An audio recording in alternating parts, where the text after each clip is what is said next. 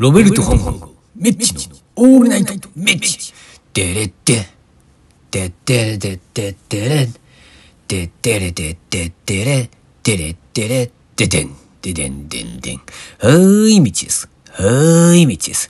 いやいや、ほんまな寝不足やねわて寝不足やねん、ほんまにな。万、でも寝不足っていうのは万年寝不足かな。やねんけど、特にな、ここ最近は寝不足すぎてな。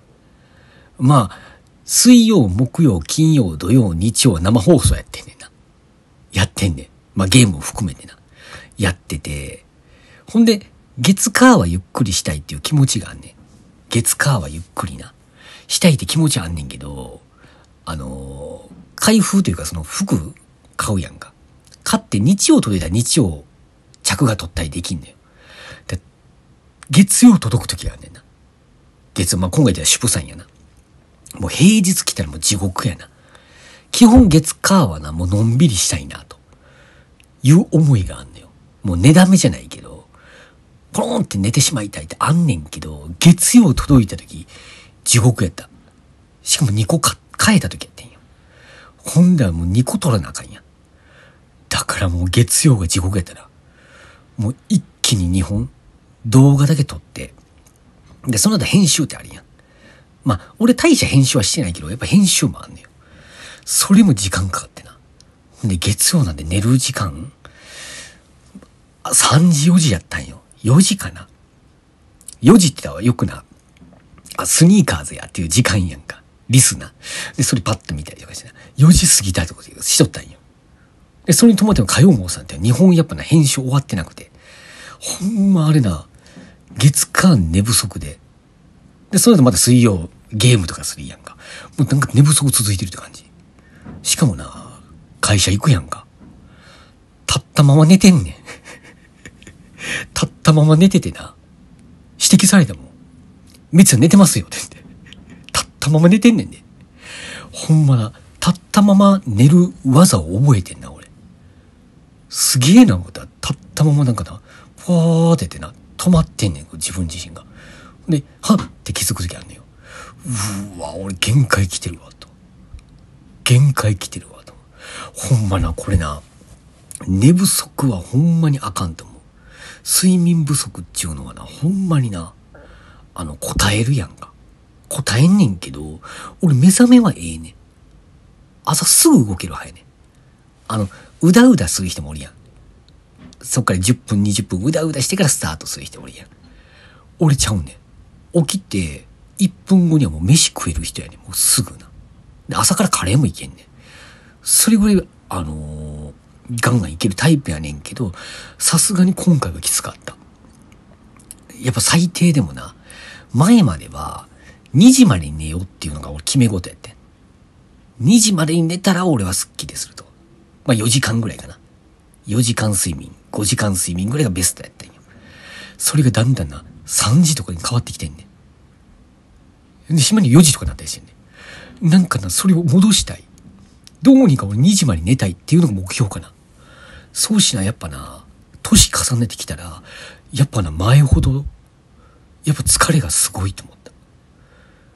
うーん、前とかオールとかできとったやんか。連れとオールして、その学校行ったりとか、仕事行ったりとか、できとったやんか。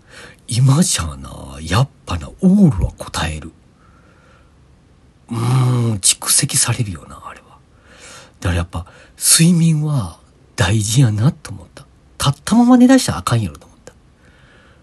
うーん、いい技かもわからんけど、これはあかんと思って。特にな、しょうもない会議の時最悪やもん。もう間違いなく寝るもん。あの、やらんでいい会議あるやろ。会社で好きやん、そういうの。やらんでもいい会議あるやん。うん、大事な会議で寝ないよ。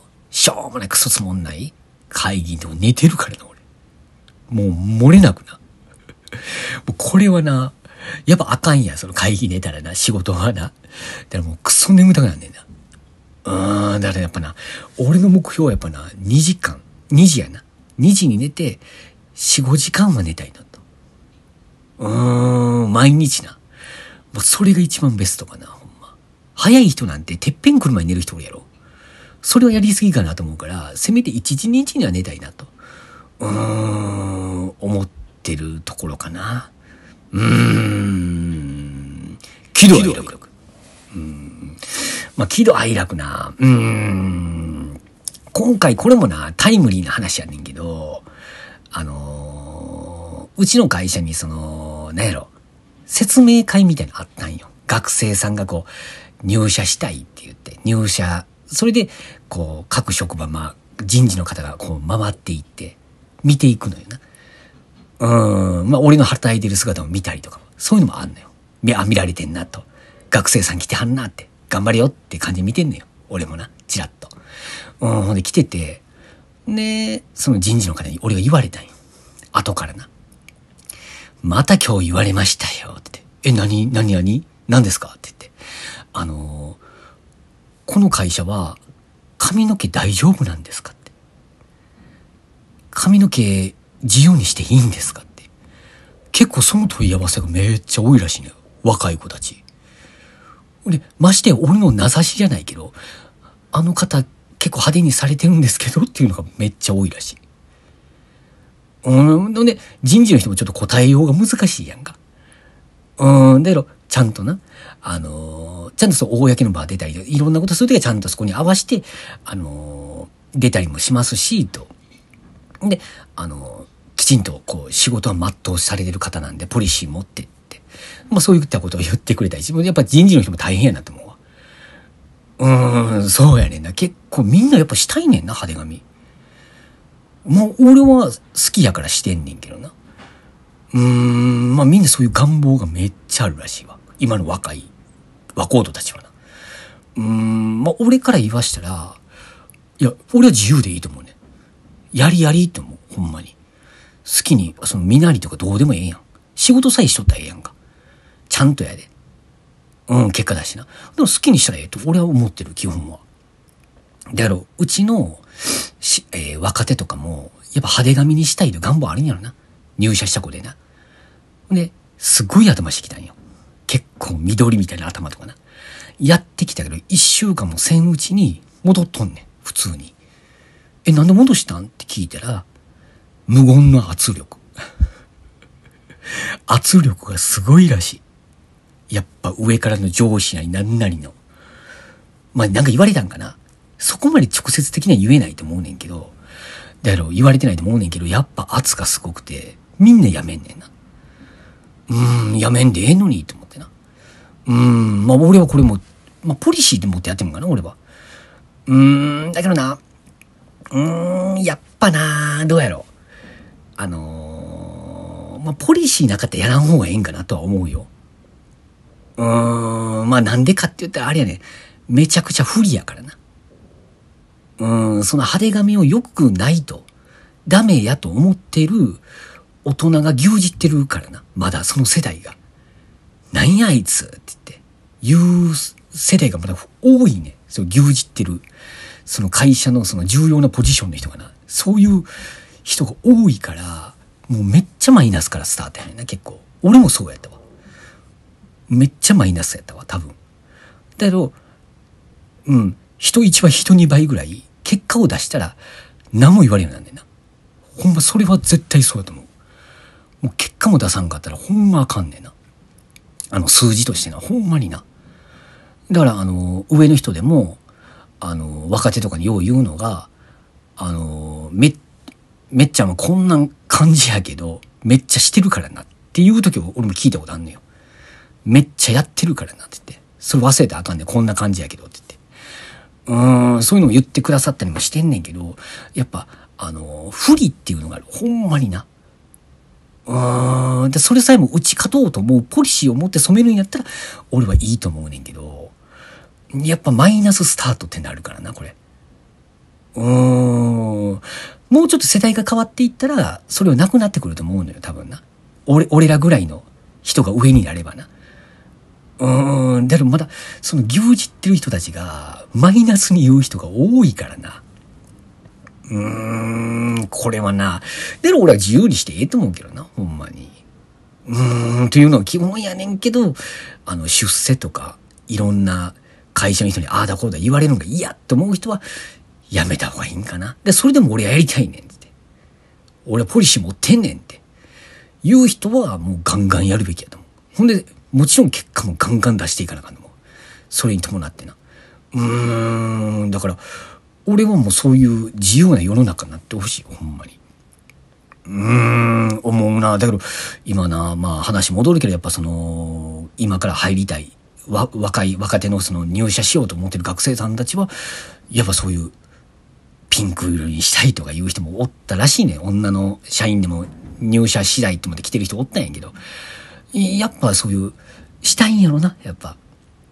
うーん、でも世の中変わっていたいなと思うわ。それがだんだんな、許されるような。うん、見た目は関係ないと思う。仕事さえちゃんとしとったら俺問題ないかなとは思うねんけどな。でもまだそういう大人たちおるよな。うーん、な感じかな、ほんまに。うん、だから派手髪最高やでって思うで。めっちゃ楽しいでって思うわ。まあ俺趣味やからな。趣味やから。好きやから。うーん。バカみたい。うん。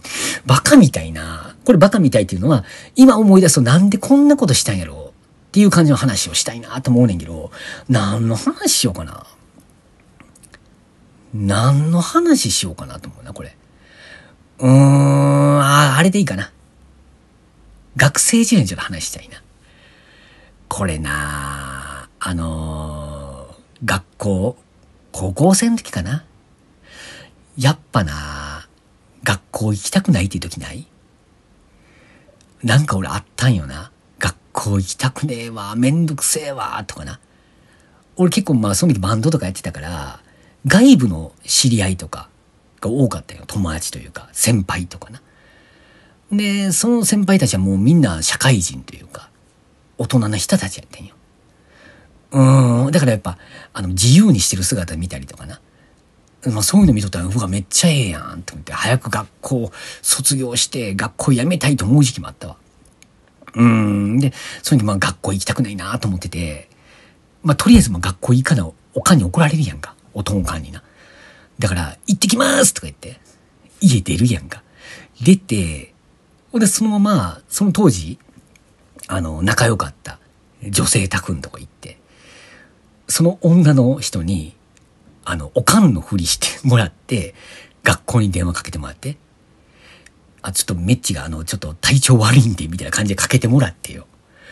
ほんで、夕方帰ってくるっていうパテンを繰り返しとった時もあったんよな。うん、で、まあ、夕方になんで帰るかって言ったら、夕方、先生が電話があるっていうの分かってるから、その電話は絶対俺が受け取らなあかんわって、いうのがあったんよ。で、先生も、大丈夫か？って夕方かけてくれてな。あ、大丈夫ですって。あ、なんとか大丈夫です。うーん、ちょっと熱っぽかったんで、って感じでな。うん、明日には行けそうですっていう話をしたいな。で、俺どっちか言ったら、あの、昔からちょっと体があんま良くない方やったんよな。うん、で、そういうのを先生知ってたよな。うん、そのマラソン大会とかも無理する運動しちゃあかんっていう時もあったからな。うん、だからもうそこも心配してくれてて。うん、で、俺それを逆手に取ってて、取って、そういうな、ことを繰り返してないよ。うん、行ってきますって言って。で、そのまま、女の家行って。まあ、その女の子は、あの、夜の人やったから。夜の人やから、昼間はな、いるんよな。だからもうすごい家におれるやんか。で、夕方帰るっていうパテーンをたまにこう繰り返しとったわけよ。ああ、行きたくねえわっていう時な。で、それはそれ楽しかったよ、めちゃくちゃな。うん。で、楽しかって。んで、ある時またな、それをやって、夕方ぐらい家帰ってきたんよ。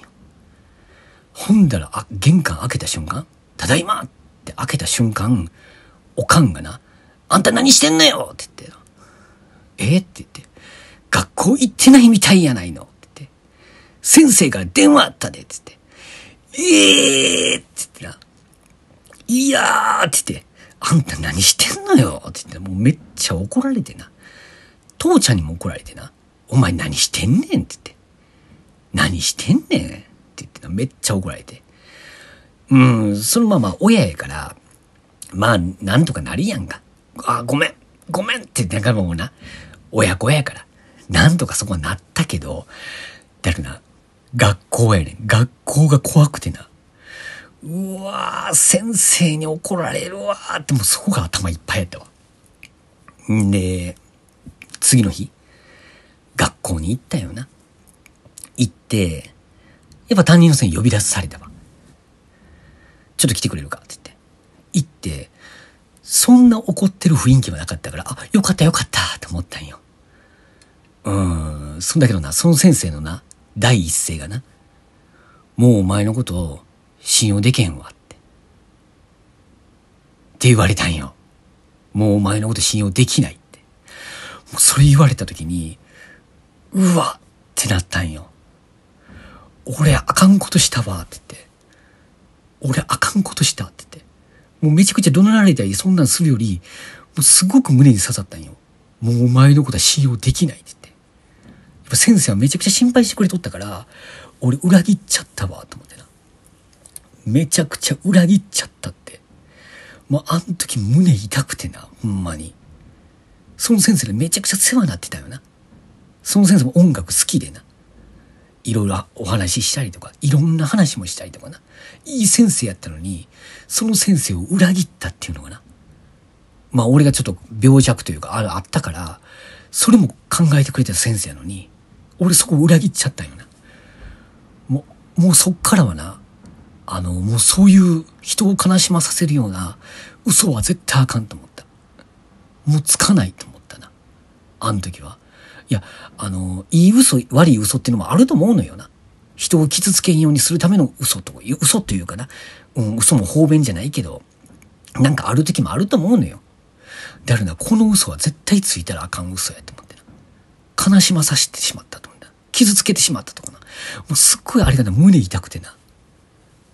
うー、これはな、もうすっごくな、あのー、もう切なすぎて、今思い出しても、先生ごめんなさいって思った。うーん、これはな、バカやなと思った。ほんまにバカやなって言って、浅はかやったな俺って。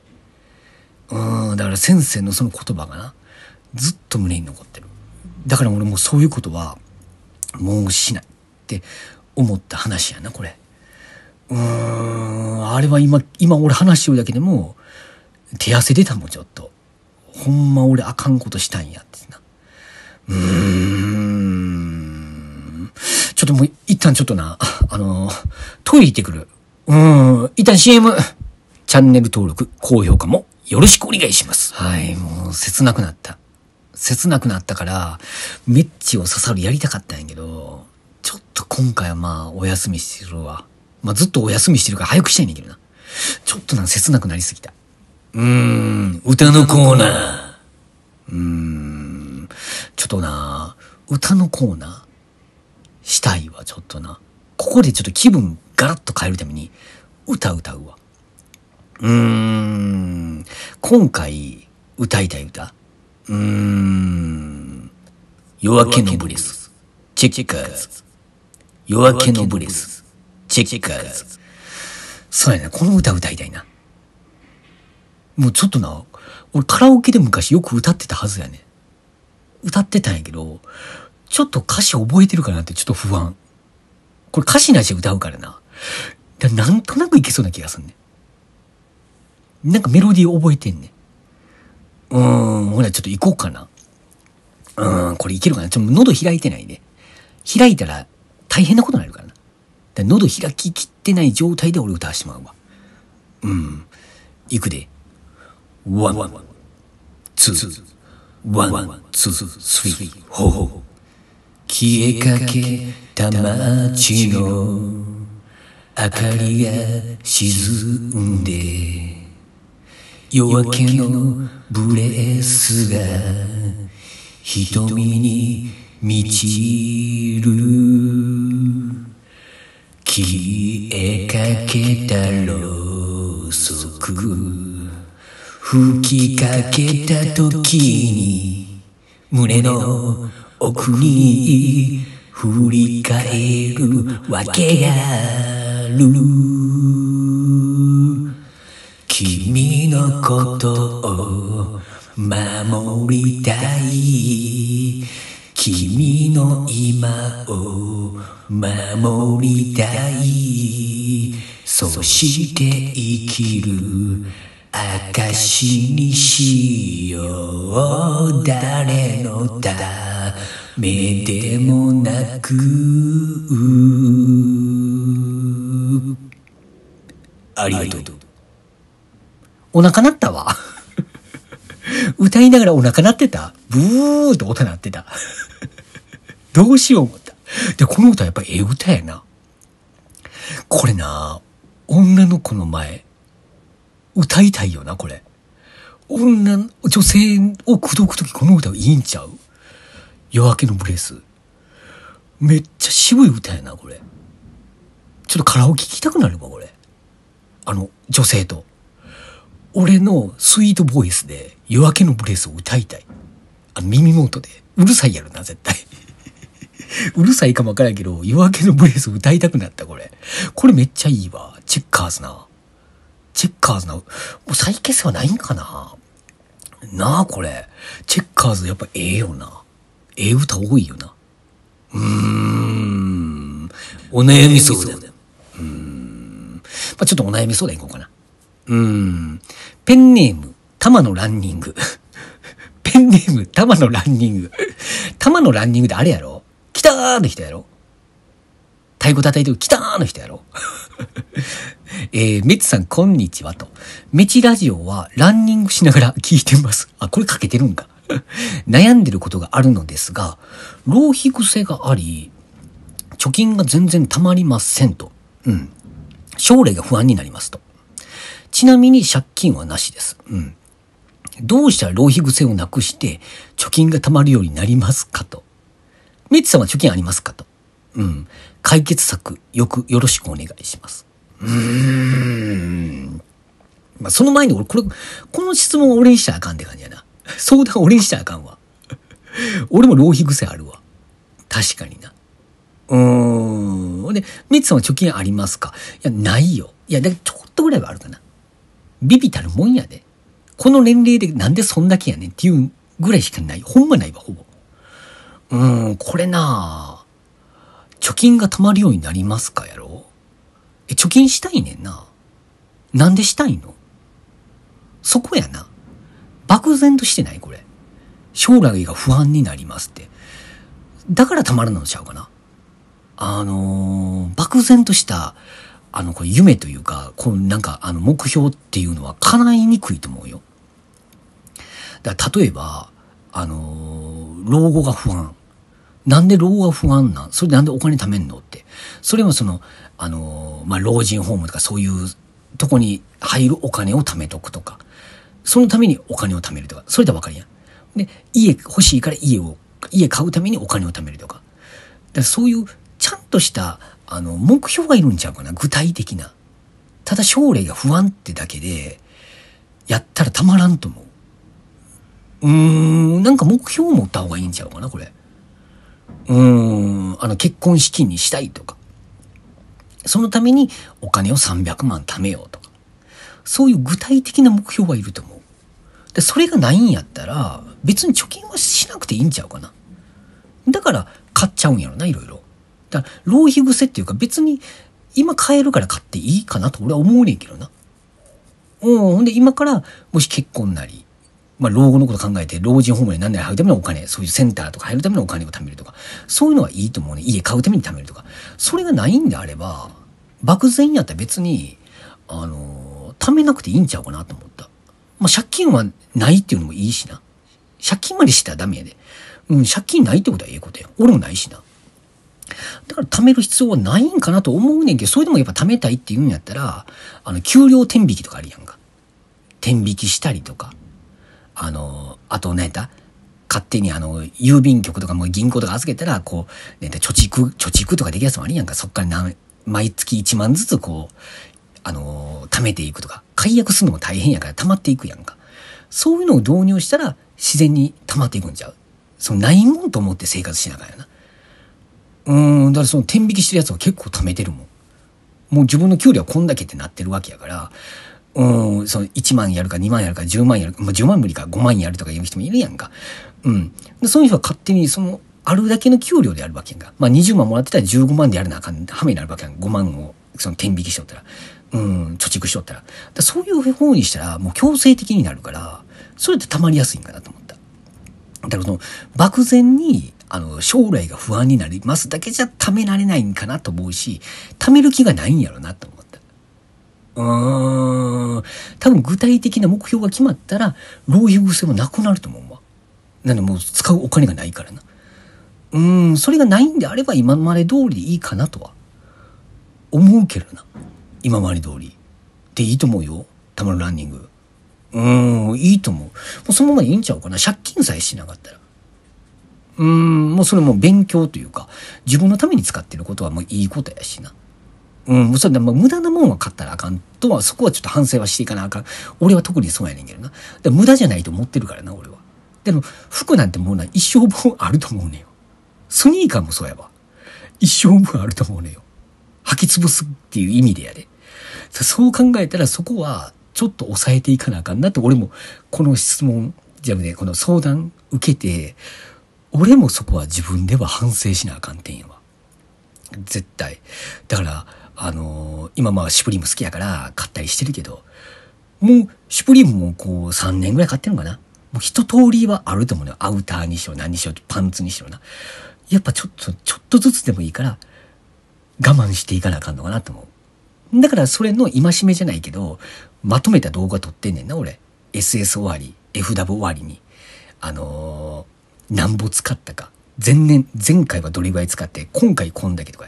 あれを減らしていけたらいいなと思うわ。まあその分だけアイテム増えてるからな。一番最初は高いに決まってるやんか。それは持ってない分、持ってなかったから。うん。で、だんだん揃ってきたら減らしていく。減っていくようになりたいねんけど、現状の俺はだんだん毎年増えていってんのよ。そこもあかんなと思ってるしな。そこもあかんねんけど、買っちゃうのよね、これ。うん、そこは俺な、ちょっとな、考えなあかん。ほんま自分が反省するわ。ほんまに毎週毎週服買ってる場合ちゃうで、スニーカーもな。月に何足買うねんって時もありやんか。うーん、この服に興味なかって、何でもいいっていう人やったら、こんなことなってないからな。と思ったら、もうちょっとな。で、まあ、興味あるもん買ってるから、まだ無駄なことはしてないと思うねんけど、ちょっとな、考えなあかんなとは思ってますね、これ。うーん、玉のランニングさん、一緒に頑張りましょう。俺もそこはちょっとな、反省はしてる。うーん、だから、スルーできる時はスルーしていきたいなと思ってます。一緒に頑張りましょうね。はい。まあ、そんな感じやな。そんな感じやな、これ。うーん、なんか、今日はなんかな、さっぱり終わったな。こいつさっぱり終わるぐらいがいいかもわかんない。このいつもな、ラジオ長なる時あんねんよ。もうこれぐらいの、サクッと、すっきりサクッととんがりコーンみたいな、そんなやつやったっけ？サクッととんがり、そんき、なんだ、サクッととんがり、とんがりコーンやったっけ？あれ思い出されへんな。まあ、そんな感じの、サクッとした感じがええな。うーん、どんこれ。みんな、ありがとう。またね。じゃあね